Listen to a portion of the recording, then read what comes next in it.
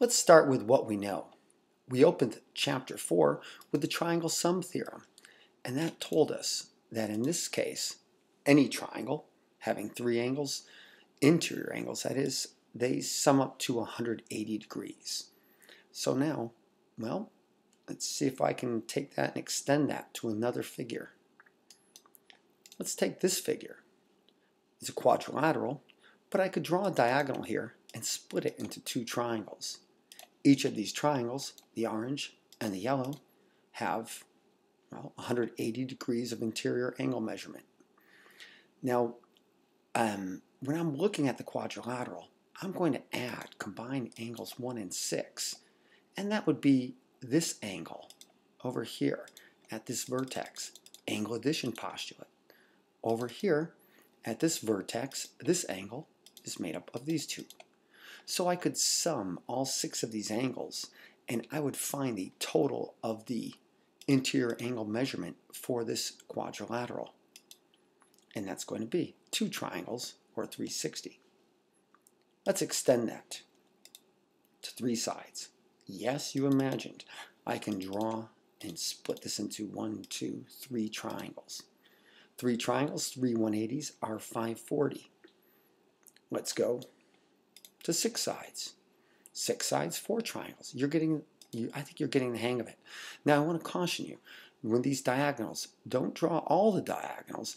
Remember, the vertices must be on well, on the perimeter. For example, if I drew this diagonal as well to create more triangles, I would be, I'd be messing it up because I'd have, I'd be making angles on the inside, on the interior. So visualizing, make sure all the triangles, all the angles are on the outside or the perimeter of this figure.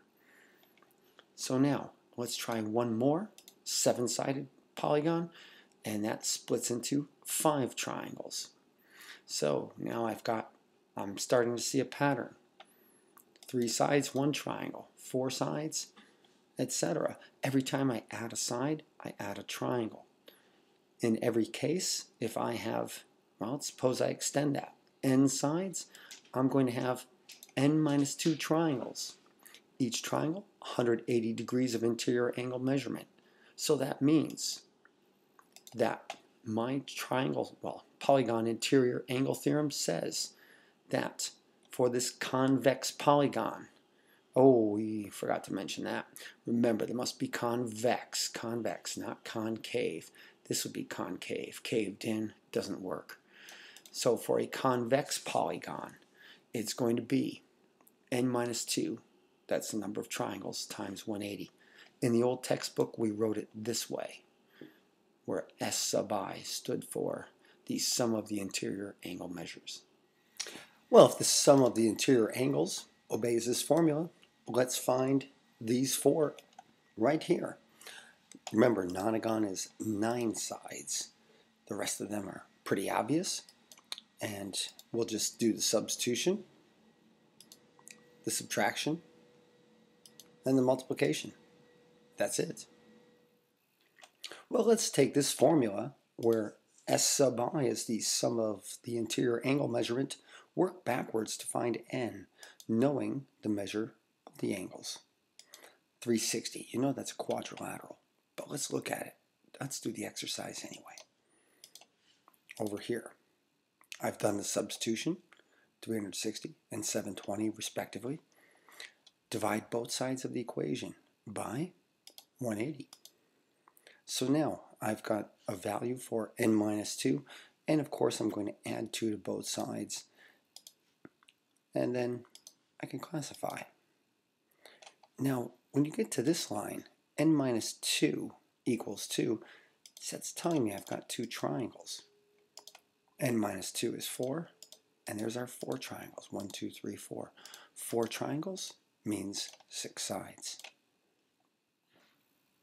Now let's take this formula and try some bigger numbers for the sum of the interior angle measures. There we go. There's our substitution, dividing both sides of the equation by 180.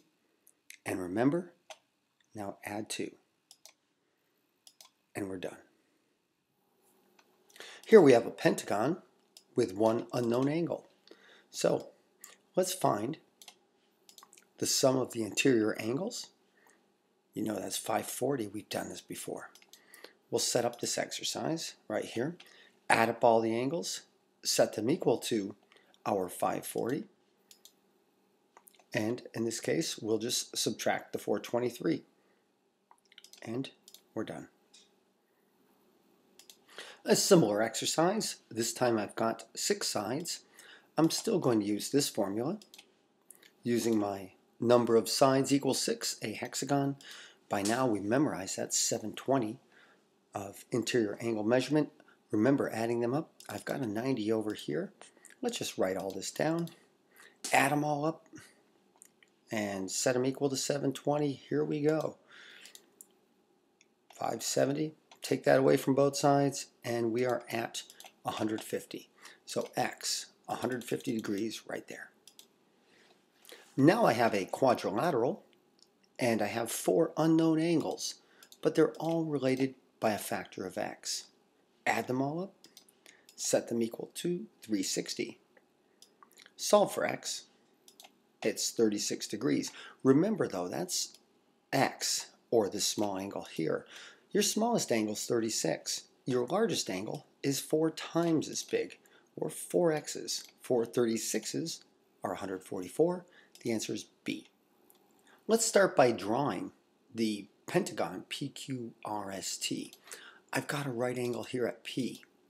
Next to it, I've got a right angle at Q. So I guess Q has to go this way. I'm just going to move it in a little bit. Looks like this so far. Now, PQR. R R is going to be along this ray somewhere. Then S, I'm going to move this over like this. And a little bit more like that. Our S and T would be this intersection. So there you go, pentagon with the three required right angles. And I'm trying to make those two look, that R and T look like they are congruent, because they are. Here's your figure, right there. Now, I know that the, tri uh, the sum of the interior angles of any polygon right there. And we've known this, you've seen this many times for a pentagon 540. So now, let's look over here and solve part C of this. How much is the measure of each of these angles, R and T? Well, that's pretty straightforward. I know that all these angles, the 270 comes from the 390 degree angles, subtract that from both sides. These two angles must add up to 270 and they're congruent. So easy, just a little bit of division. So there you go, 390s and a pair of 135s.